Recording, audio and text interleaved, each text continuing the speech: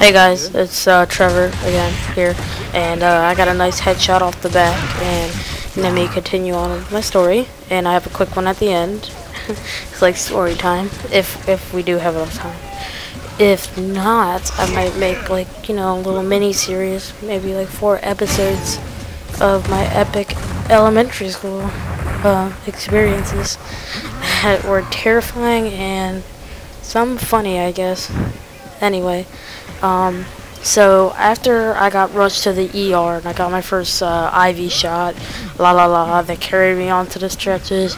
I got in the ambulance. The dude asked if I was awake, and I said, uh, yeah.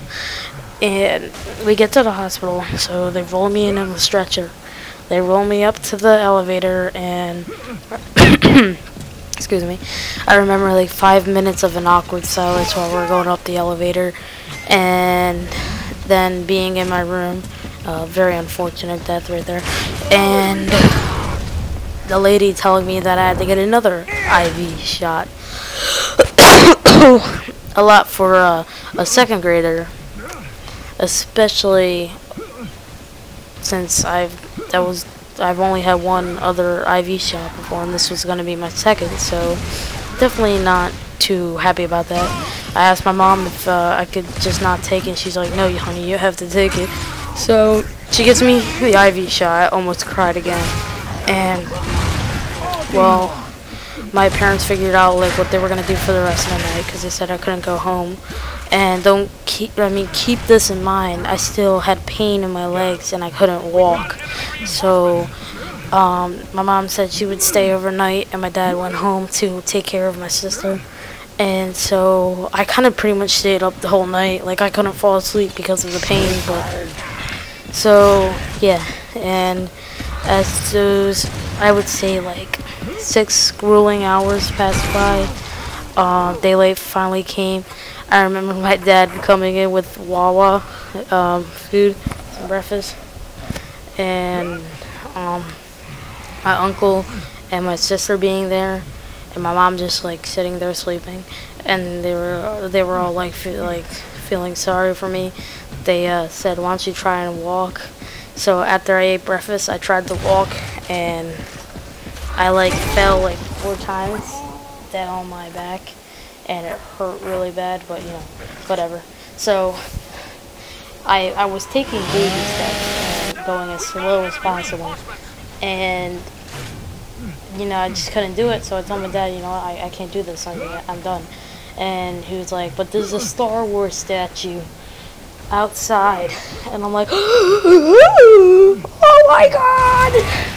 So I, I walked in epic, epic, epic slow motion with my baby steps. And soon enough, like 15 minutes later, which was right down the hall, like then to a left, I found the statue. It was a statue of Luke Skywalker, and it was like, it was about six feet tall, and I thought it was like the most amazing thing to me, and I just took these people out, and I died.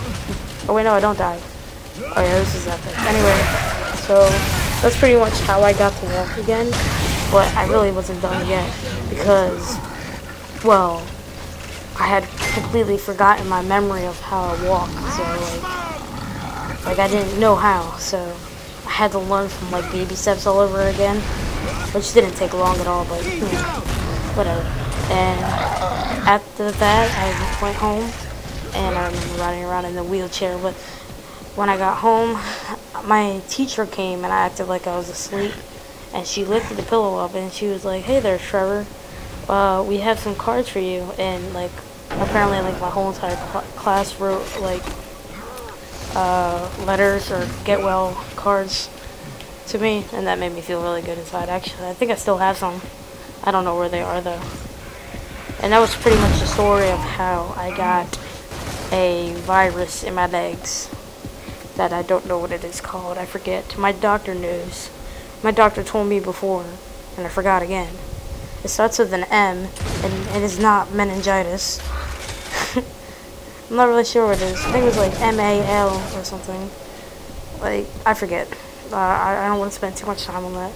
So, I have another story, a quick story, not too much, um, of me in second grade and my first girlfriend. So, I asked her out and she was like, oh yeah, sure. And I almost rage quit her. And so we were going out and I, uh, that weekend I went to the shore and I won her a ring and a bracelet. And so I brought it to school, put her at her desk before class started. And she apparently brought it home and showed it to her mom or something. And her mom thought I stole jewelry from my mom. So, if you didn't understand, her mom thought I stole jewelry from my mom. So that was the end of our relationship. And yeah, that's pretty much it, guys. Hope you enjoyed these uh, stories. If you like them, leave a comment and tell me to tell you more stories. I have a few others, just like hang gliding stuff like that. So yeah, peace out.